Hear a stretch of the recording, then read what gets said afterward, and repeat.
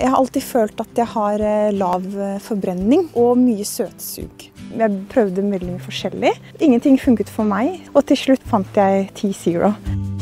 Jeg merker at appetitten har stabilisert seg. T-Zero har vært eh, det beste hjelpemiddelet til å redusere søtsuget.